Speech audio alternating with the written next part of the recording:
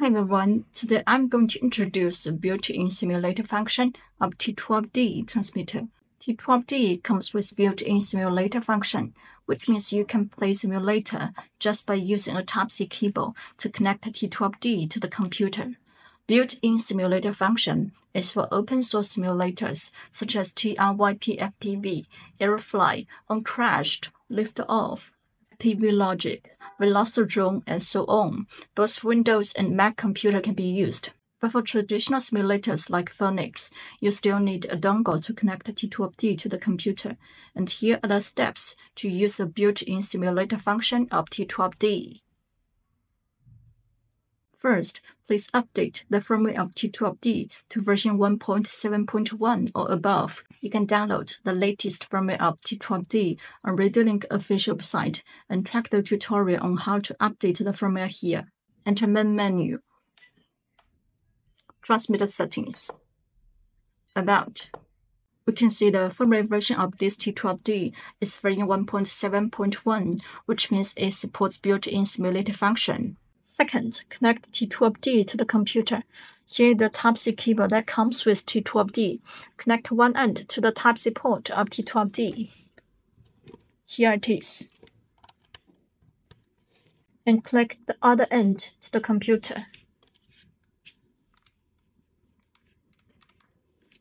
And the Type-C cable can also supply power to the transmitter and power on T12D.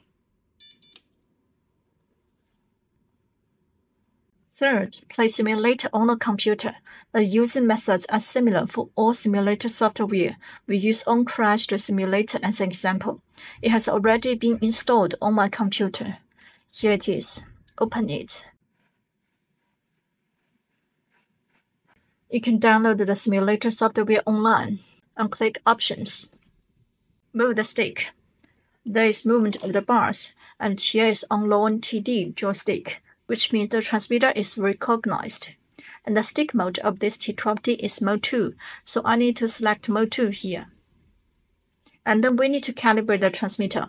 Click Auto to calibrate each stick, then follow the instructions to move the stick. Click Auto, move throttle stick. Roll. Pitch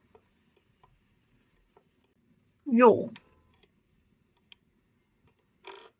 And pay attention, if the movement of the stick is opposite to the bar movement here, please click Invert here to correct the movement of the stick.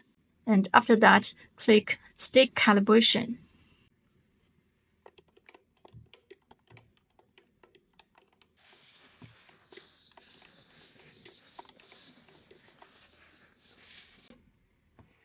Center all the sticks and press OK.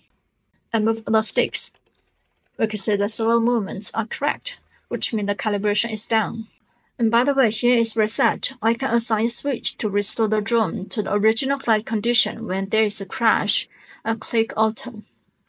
And push switch A up and down. It is recognized. Then I can use switch A to reset the drone.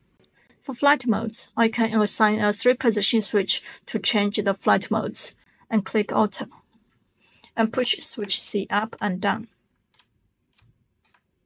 It is recognized, then I can use switch C to switch the flight modes. And there are some other setting menus, such as Graphics, Gameplay Audio, Race, Drone Settings. You can set them according to your needs. Now let's play it single player. You can choose the scene you like, such as Arctic Island, and wait for the loading. Push the throttle down to the lowest position. Then you can push up the throttle to fly it.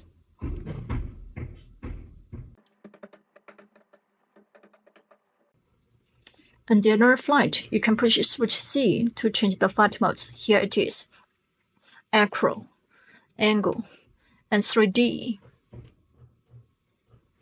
When there is a crash, you can push switch A to restore the drone. So that's all about the built-in simulator function of T12D transmitter.